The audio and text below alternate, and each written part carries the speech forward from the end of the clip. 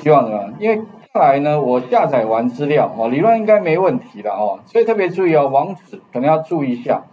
然后呢，它的编码方如果乱码的话，你改另外一个啦。理论上目前得知哦，最普遍的就是这两种，一个是六五零零一，一个是九五零。那你说为什么会有这差别啊？主要原因是因为微软哦，它就喜欢用 Big 五，它就不改。那其他非微软阵营都是用六五零，像如果你是用苹果电脑 Mac，它就六五零零一。那如果你是 Google，也是六五零零一。OK，其实大概大致上可以这样划分哈。那如果说接下来我希望呢，因为我们后面要统计三个东西，所以我需要一个栏位叫做年。那之前的做法是怎么样？哎，我之前就是先在这边的第一栏的就按右键插入一栏，有没有？然后在上面呢加上一个年，好有没有？然后呢再用什么 left 这边哎加上一个年，年这个字嘛哈。然后呢，在底下再输入那个公式，就 left，然后再向下填满。可是如果这四件这个四个动作，这一插入一栏，二输入这个，第三个在这边插入一个什么？插入一个 left，然后呢，取它前面的三个这个的前三个字嘛，OK，然后再向下填满。所以如果我今天希望哦，把这四个动作变成四行程式的话。哎，那应该怎么写？我跟各位讲一下哦，其实很简单，我就把它删掉了哈。你可以在底下哦写一个 sub，名称叫做插入栏好了。它其实我这边已经写好了，你们可以参考那个云端白板上面的第十二页地方，这边有个插入栏哦。那实际上哈，就是这几个动作，OK，插入栏。那第一个啦，当我刚做四个动作，第一个的话就是音色有没有？到低栏，所以其实写的方法，你需要学会一个物件叫 colors。那你跟他讲 colors 刮弧里面低指的是低栏，音色的话指的是插入栏。OK，那所以我这边设个哎按一个八好了，厨房跑给各位看一下哦，有没有音色一栏低栏？所以你会发现低栏这个时候就变空白。那再来的话，把年这个字哦放在低底里面的话，就是 range d one 等于年。那等于是把后面的资料放进来的意思，所以放进来，OK，年就看到了。再来的话呢，呃，我们就是把公式，所以刚刚的公式有没有？再把它放到里面，所以其实双引号里面就把公式放到第二。那接下来的话就自动填满嘛，我们空点快点两下。那在这边的话，其实就一个方法叫 Auto Fill，Auto Fill 的话就向下填满。那填满的范围就从第二到。第一的最下面一列，最下面一列我用追踪的了哈。这个追踪，前前面跟各位讲过，我从 A one 向下追踪，得到的就是三四四零这个列数。OK 哈，然后把它向下填满。那你会发现，哎，年就增加出来了。那你想说，老师，那我还有区怎么做？OK，区在这边嘛哈。那其实一样啊，你也可以怎么样？哎，在这边它，所以其实做法应该差不多。甚至直接可以把这个上面这四行程式啊拿来复制，Ctrl C，Ctrl V 贴上。那改的方法哈，其实大同小异的，其实应该可以可以理解吧哈？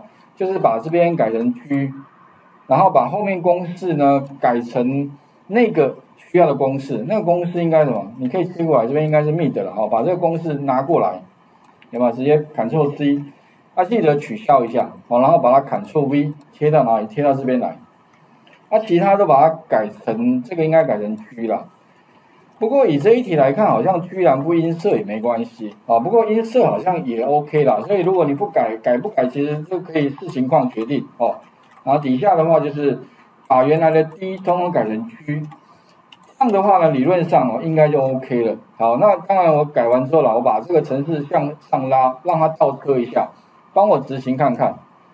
哦，所以有的时候啦，你程式是边看边写。边写边看，啊，把它切过来这边好了，OK 哦，那你会发现哦，居然音色一栏，其实它好像没什么改变，只是说音色这一栏，然后栏宽变宽了哈，然后年加上去，哎，加上公式，上下填满，OK，哎，年就出来了，哎，那再来 H，所以 H 的话其实也是一样，就是刚刚我们写的那个东西，所以其实也是一样，把这个公 C 这四行 Ctrl C，所以将来哈，如果假设你要产生你要做枢纽分析的那几栏的话，那基本上哦，你可以再自己再加上去，反正就是先爬虫先爬回来，然后呢再来就是增加你需要统计分析的栏位，啊，并且哈把那个公式呢把它放过来。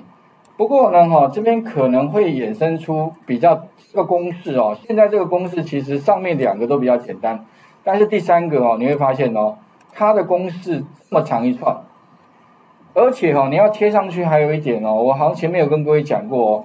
如果你这个公式里面呢，假如有双引号的话，那记得有个规则，你一定要把它变两个双引号。为什么？因为你这个双引号贴上去哦，它会误以为是 VBA 里面双，因为 VBA 里面双引号是表示文字的开头跟结束，他搞不清楚。所以呢，你需要先把它改成两个。所以我前面好像教各位一个技巧。你可以把这个公式选起来，Ctrl C 取消一下。利用哪一个呢？其实最简单的方法了，你可以找那个记事本。记事本的话，在这个 Windows 的附属应用程式里面找那个记事本，先把它贴到这边来。那贴上之后呢，用一个最简单的功能，编辑里面什么取代，有没有？把一个双引号变两个双引号，这样就 OK，全部取代。好。取代完之后应该没问题了哈，啊，关起来，然后把这个公式 Ctrl C，之后的话呢，再贴到 Visual Basic 这边，把它贴到哪里呢？贴到第三个有没有？先插入 H，然后哎哎哎，这个不是年，这个可能要改一下，这个叫区，那这个叫入街道哦，OK，好，然后呢，公式就把它直接贴到这个双引号里面哦。OK，这个双引号哦，就是加公式，然后向下填满，这样应该就 OK 了。好，那一样把它倒车一下，好，让它继续跑跑看。哦，你帮我插入一个 H，哎，不，应该是这这这个工作表，哦，记得不要不要搞错了哈。然后呢，呃，插入一个 H 栏，然后再加上路接到三个字，然后输入公式，哎，看起来没问题，向下填满。好，那这样都 OK 的。好，所以请各位试试看哦。这边的话，主要这四行啦。如果你记不起来的话，你可以拿云端白板上面的第十二页哈，试试看。好，来，画面再还给各位一下哈。主要就是呃加上，所以啊，刚刚第一步就是把资料爬下来。第二步的话呢，就是产生你将来要做枢纽分析。的这个栏位，那因为我们总共会需要三个栏位，所以呢，我们刚刚就做了三个栏位的动作哦。先插入栏，OK，所以插入栏你可能要学会什么 columns 哦。这 columns 指的是什么？指的是栏的物件，OK 哈。然后再来透过 range，所以底下你会发现啊，都是 range 哦，range 指的就是储存格了哈，OK。然后利用那个。Range 里面的一个方法叫 Auto Fill，Auto Fill 其实蛮好用的，自动填满，那这样很快的就会把我们的公式哦，通通做出来。那其实就通过四行程式，哦，就可以把需要的资料准备好。OK，那准备好之后，后面的话我们就可以让它自动产生报表，自动产生这个枢纽分析表、枢纽分析图，有没有？那以后的话，你希望它怎么样？甚至以后它自动跑报表都不是问题。OK 哈，那这个字是非常好用，因为尤其是如果你资料量越大，你就让它自己跑，跑完之后自己去分析，分析完结果自自己告诉你，有没有？甚至你可以什么？时间到，有点像设一个闹钟一样，时间到自己去爬，比如外汇好了，全世界的外汇，因为全世界外汇开这个啊，那个汇市这个呃开始的时间都不一样。哦，会有一个会差了，所以如果你假设你你厉害，你可以去抓相关资料，然后做一个比对嘛，OK 哈。好，那这个当然延伸性蛮大的哦，OK，所以请各位试试看插入栏的部分哦。